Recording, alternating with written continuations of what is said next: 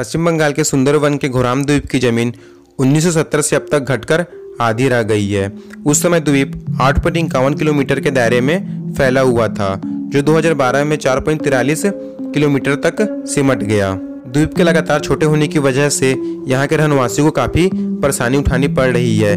आखिर क्या है इस द्वीप के लगातार गायब होने की वजह? तो आइए जानते हैं। यह घोरमारा द्वीप भारत और बांग्लादेश का साझा द्वीप है। जिसे कुछ हिस्सा भारत और कुछ बांग्लादेश में लगता है। यही दुनिया का सबसे बड़ा सदाबहार वन है और साथ ही इस वन में रहने वाले शेर पक्षी दुर्लभ किस्म की डॉल्फिन लुप्त होने की कगार पर पहुँच चुके हैं। बंगाल की खाड़ी से 30 किलोमीटर तक उत्तर में स्थित घोरमारा द्वीप डेल्टा के उन कई द्वीपों में से है, जो समुद्र स्तर के लगातार ऊपर आने के कारण डूबता जा रहा है। वैज्ञानिक प्रदूषण की वजह से हो रहे क्लाइमेट चेंज को इसका दोषी मानते हैं। उनका कहना है कि नदी और तटीय इलाकों का कटाव, बाढ़ चक्रवत और हरे भरे जंगलों के विनाश के कारण समुद्र का जल स्तर इन्हीं कुछ दशकों में तेज़ी से बढ़ा है। पास ही एक द्वीप, लोहाचारा, पूरी तरह से डूब चुका है। जबकि एक पड़ोसी खामिया डूबने के कगार पर है। सुंदरवन में ही खुरमारा द्वीप के पास ही सागर द्वीप भी स्थित है। बीसवीं सदी में दोनों जुड़े हुए थे।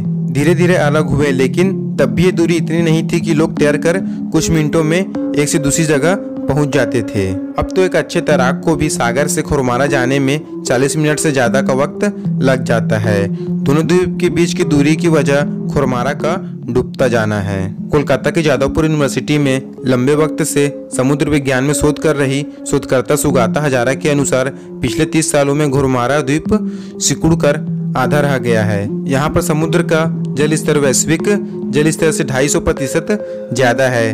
दुनिया भर में तटीय इलाकों में समुद्र का जल स्तर तीन पॉइंट तेईस किलोमीटर है तो इस द्वीप में आठ मिलीमीटर है। तो आप इस द्वीप के बारे में क्या सोचते हैं? नीचे कमेंट बॉक्स में अपनी बात अवश्य बताएँ। मिलते हैं फिर एक नए वीडियो में। यह वीडियो देखने के लिए आपका